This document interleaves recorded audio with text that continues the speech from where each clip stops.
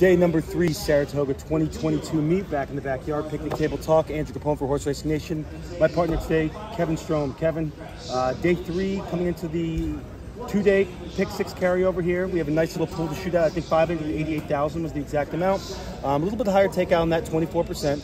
But uh, some good turf racing this afternoon, including the Diana, which should be an interesting race. What did you see so far through the first two days? How the turf is playing? So this turf.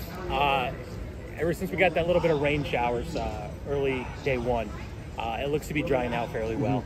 Uh, so it looks to be, you know, much more forwardly placed. You know, Joel got us yesterday on a tone. Uh, he beat a tone, you know, on the 10 with the Clement horse, um, you know, closing. So that was, you know, that horse was loaded yesterday. Uh, but I think the turf's going to be, you know, fairly forward today. You're definitely going to want uh, a forward, forwardly placed horse. You saw it on flow yesterday with set piece. He dropped all the way to the back and tried that one run close. That's not going to work today. Um, so, you know, keeping that in mind, let's get into the card. Yeah. So we have that two-day pick six carryover. We'll jump into that right away.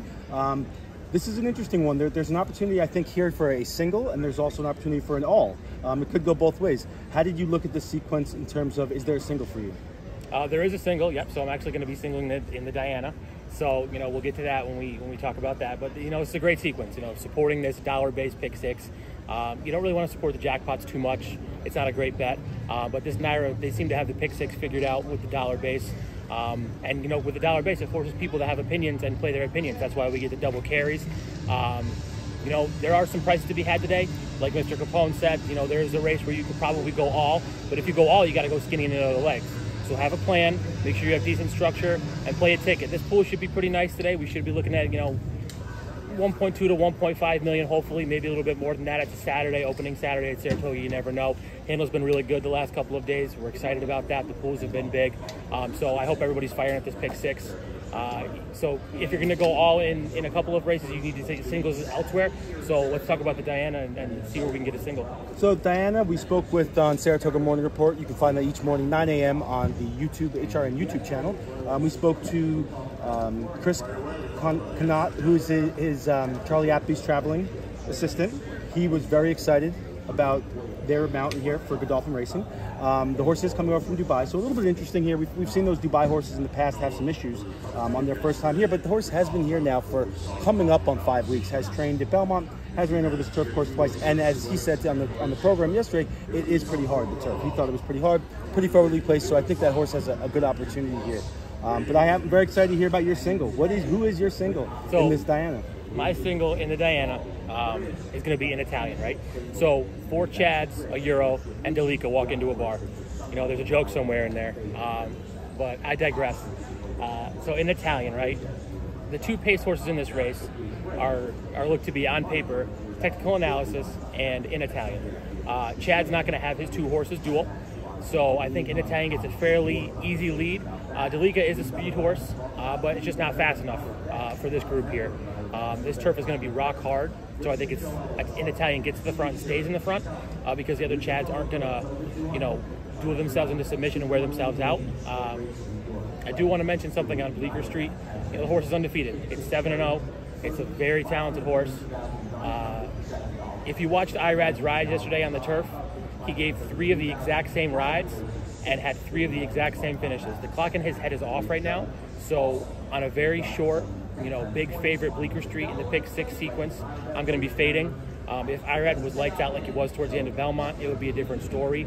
Uh, but I think he's his clock's a little off right now. It will correct like he always does and get back to being one of the best in the game. Uh, but I think this is an opportunity to play against a big favorite in Bleecker Street. Uh, Rougir, to me, is a one-paced horse. Uh, creative flair. You know, you always have to look at the European horses who come over here for these turf races. Uh, it's not cheap to put a horse on a plane, fly him across the Atlantic Ocean, and then put him up here for four weeks. So they're clearly high on that. You know, Charlie Appleby has, I think he's 43% in graded stakes in the last year here. Uh, so, you know, he comes with a plan. Jamie Spencer comes over to ride. It's not Billy Buick, um, who has won, you know, he's a strong rider on this horse, so we'll see if Jamie Spencer, who's failed twice on it, can get it done here. Uh, but I'm going to be singling in Italian. I think uh, he gets to the front and stays in the front, and I will have a safer to creative flair because you never know with those European horses what they have in store for you. Yeah, I mean, I, I appreciate that opinion. I'm actually going to be using both those in Italian and creative flair. Um, I'm going to be using my single in the Sanford.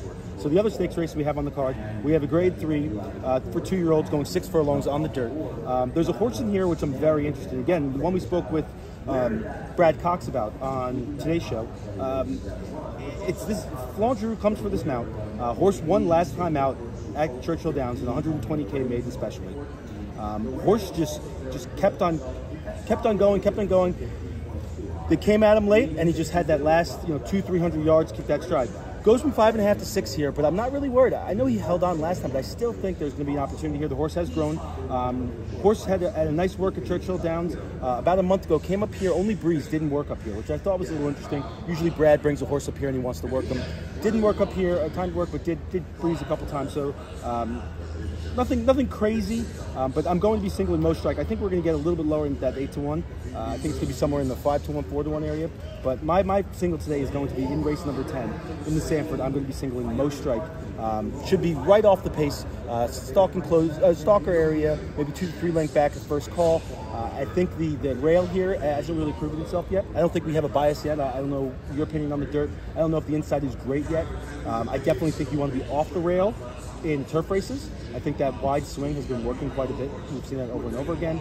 Um, we saw that yesterday once. So I think you want to be sort of in the middle of the turf course. But uh, on, the, on the dirt course, I think we have really no bias, whether it's inside or outside yet. That's probably due to lack of precipitation so far. Uh, that's what we have for today's picnic table talk. We'll be back here in the backyard every single day of the Saratoga 2022 meet. Um, any other comments on the card today that you like? No, first Saratoga. I hope everybody's having a good time so far with the meet. You know, it's been a little crazy with these pick sixes, but use it as an opportunity to hit it, hit it big. Good luck, everybody.